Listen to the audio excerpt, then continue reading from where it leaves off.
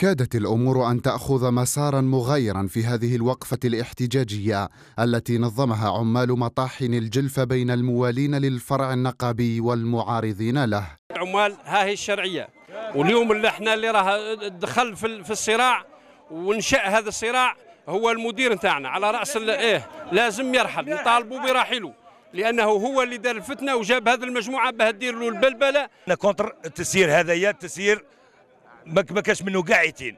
راه دارنا دار المدير دارنا نقابة. تاع ربعة من الناس يوصل نقابة شرعية اللي نخبتها العمال. وجات جابوا شرعيه من برا في القهوة. يكاشيوا لهم برا ويجوا. والعمال هايكم ساميكم.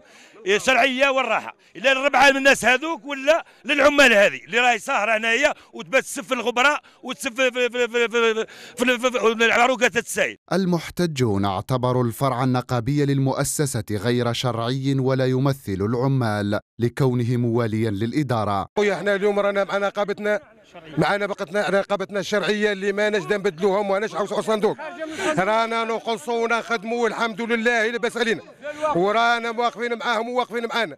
لكن الفتنة هذه دارها المدير. المدير دارها هو الوحيد اللي يفتن ما بين الناس بنسيب بخوب صاحب كلش. هو اللي دارنا الفتنة هذه. لكن اليوم إحنا نطلبوا من السلطات إحنا ينحوا علينا هذا المرض. في حالة عدم الاستجابة راح ندخلوا في إضراب مفتوح. راه السلطات على بالها بهم. والمديريه العامة عندها على علم بهذا الإضراب وما كاش اللي ما كاش اللي جاوبنا. ما كاش اللي بعث لنا محسوب رسالة.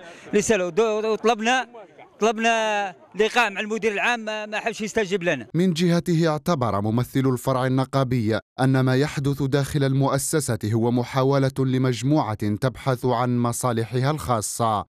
كلفنا حنا باش نخدموا باش نخدموا نديروا الصندوق من جديد وحنا مكلفين من من طرف الاتحاد المحلي اللي شرعي اللي هو الآن هو.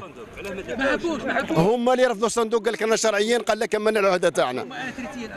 واستعملوا استعملوا داروا قائمة اسمية فيها طرف من العمال استعملوها بالضغط لأنه الأمين تاع النقابة هذه السابقة آه، رئيس مصلحة ويضغط على العمال والنائب تاعو. مطاحن الجلفة عرفت في السنوات الأخيرة نشاطا كبيرا من حيث الإنتاج حيث أن عودة الصراعات سوف تهدد استقرارها.